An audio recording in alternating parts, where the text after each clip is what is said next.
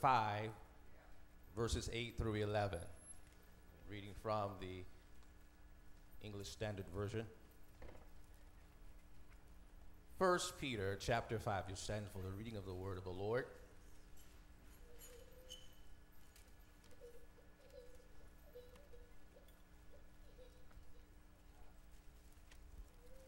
Amen. When you get it, just say, I got it. Still need some help? Let's use that table of content. It'll direct us to where we need to be. 1 Peter chapter 5, verses 8 through 11. And it says, Be sober minded, be watchful. Your adversary, the devil, prowls around like a roaring lion, seeking someone to devour. Resist him, firm in your faith, knowing that the same kinds of sufferings are being experienced by your brotherhood throughout the world. Verse 10 And after you have suffered a little while, the God of all grace, who has called you to his eternal glory in Christ, will himself, God's going to do it himself, restore, confirm, strengthen, and establish you. Then he ends it with a praise. To him be the dominion forever and ever. Amen. Just want to talk with you just a few minutes from the topic Don't panic, God is still in control. I, I, don't know if there's anybody that need that about now, but just, just tell anybody that will listen to you, don't panic. God is still in control. You may be seated in the presence of the Lord. Father, thank you for this opportunity to proclaim your word to your people.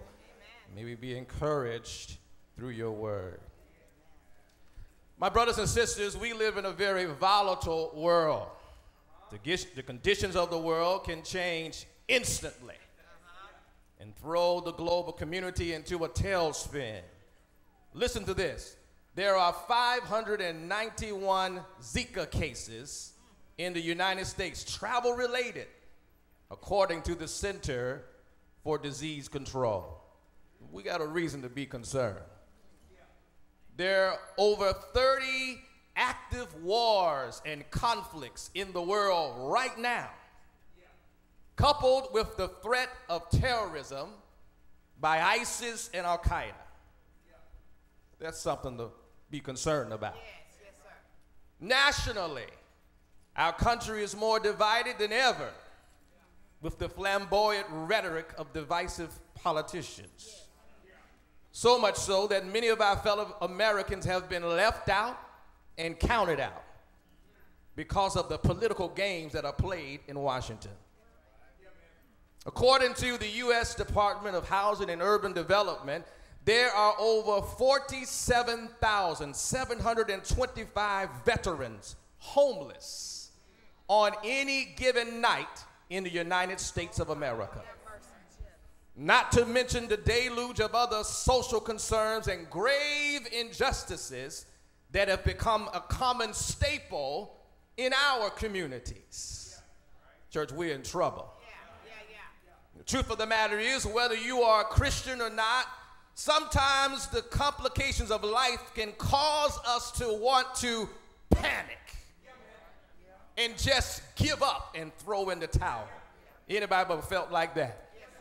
I know I felt like that, and there might be some people right now in this sanctuary who feel that way, tired of robbing Peter to pay Paul tired of seeing the wicked prosper and seemingly the righteous struggle. Tired of being passed over for the promotion for someone who has less time, less education, and less experience. I can't get no help up in here.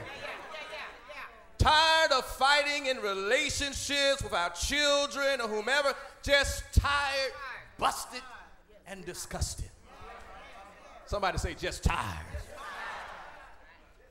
And, and being tired was the sentiment of these Gentile Christians for whom the Apostle Peter was writing to. This was to a people who entered into Christianity under some very turmoil situations. They were located in Asia Minor, what we would call today modern day Turkey. The Apostle Peter taught these new Gentile Christians about living righteously, the call to good works, family order and discipline, and the reality of a believer suffering. As a result of their newfound religion, they experienced a shift. Somebody say a shift. See, they shifted from the world to the kingdom of God when they became a believer. Are there any people in here that shifted you, you, from out of the world but into the kingdom of God? They shifted in some of their relationships. You know, that happens when you give your life to Jesus. Some of their family members shifted on them. Their social practices shifted on them. And I'm pretty sure there were probably some of their old acquaintances that say, Oh, you think you all that now. Now that you up in that church and y'all singing and all of that. I remember you when. I, I know what you used to do. And I want you to begin to put your hands together for every hater. Because if somebody can identify what you used to be, they are acknowledging that there's now a change in you right now. Come on, you ought to thank God for every hater right now. And with all of this pressure, opposition, attacks, and stuff and issues, the text screams a message don't panic. God is still in control. Your world might be in chaos, but God is still in charge. The world may be going against each other, rumors of wars and all kinds of disaster, but God is still articulating. He's still moving things around. I'm just glad God is still in control. It is in verse 10 of 1 Peter chapter 5 that we find directives on how to keep our cool during challenging and difficult times. Scripture says, and after you have suffered a little while, yeah, the God of all grace who has called you to his eternal glory in Christ will himself. He ain't sending no angels to do this. God's going to do this thing himself to restore, confirm, strengthen, and establish you. In this text, we find three statements endure the situation. Somebody say endure. We also find discern the brevity of the situation. That means it doesn't last as long as you think it does. Somebody say discern. And then the last thing is trust God to act. Somebody say trust. So if you need to remember something, just remember endure, discern, and trust. Verse 10, the initial statement, and after you have suffered. Stop right there. There's no need to go any further. We got to stop right there. This is an indication that the Apostle Peter expected the believers to endure their sufferings. Now, this is going to get me in trouble. But the life of a believer will not always be on easy street. Sometimes you got to go through some stuff I wish I had some people in here who've been through some stuff. Some of the stuff we've been through, we can't tell nobody else. Uh, but we've been through some times of suffering and difficulty and challenging. We can't buy into the fallacy that when we get saved, we don't go through no more stuff. I'm exempt from suffering. Not so. That's not what the scripture tells us. By example, Quite to the contrary, Jesus stated in Matthew 10 and 22, and you will be hated by all for my name's sake. But the one who endures to the end will be saved. Somebody say, endure. 2 Timothy 2, 3, and 5 says, You therefore must endure hardship. My God, as a good soldier of Jesus Christ. Are there any soldiers in here? Some writer says, I'm a soldier in the army of the Lord. Are there any soldiers in here? When you in the military, you got you sign up to fight. Endure.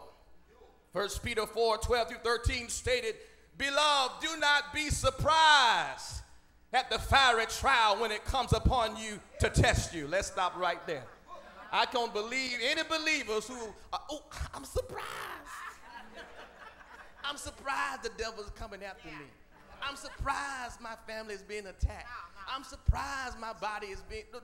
You can't say you're surprised because the text, the Bible already tells us don't be surprised at the fiery trial when it comes to test you as though something strange was happening to you. Listen, this is supposed to happen. If the enemy never attacks you, you're doing something wrong.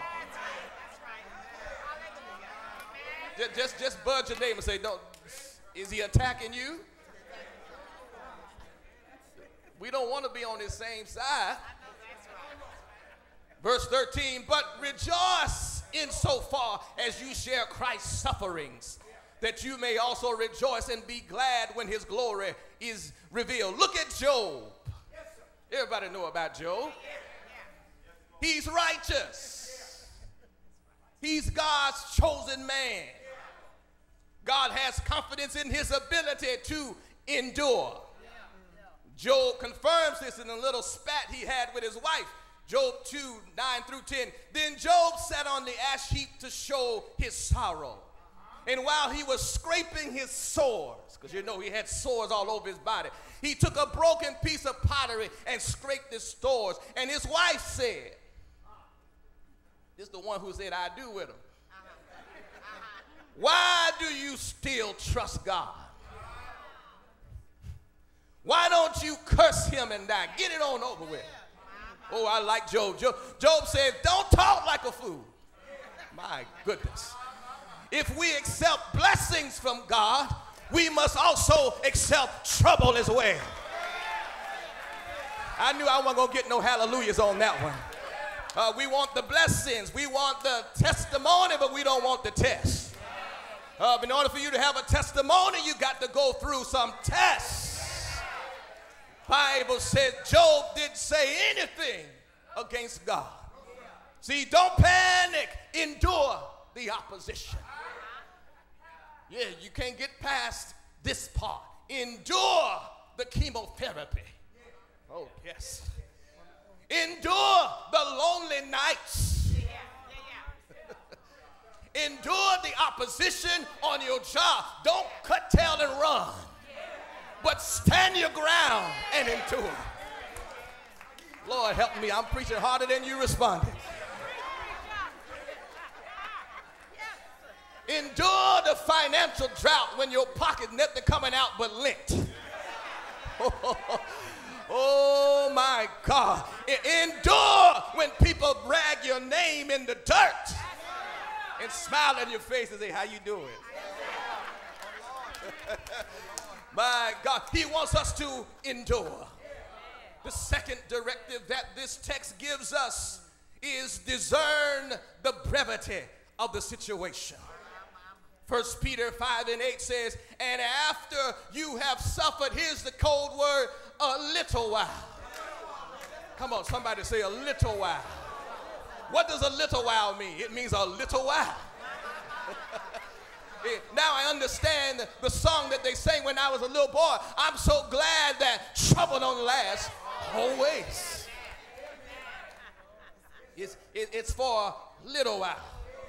This indicates that situations have a time limit.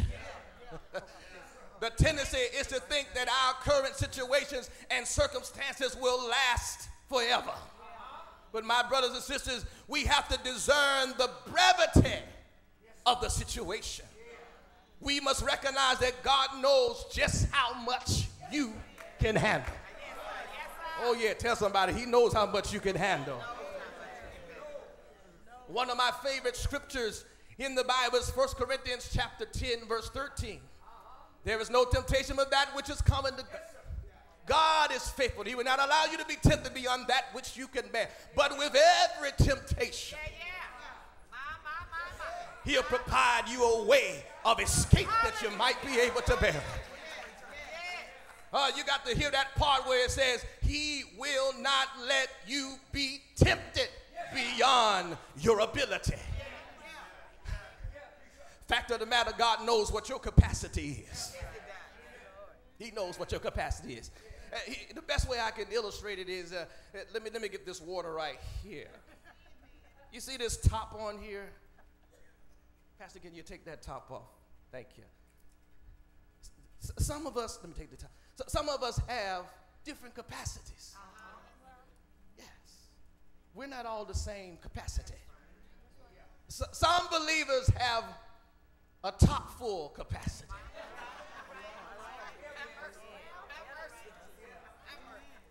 God knows that you can't handle any more than what can fit in the top.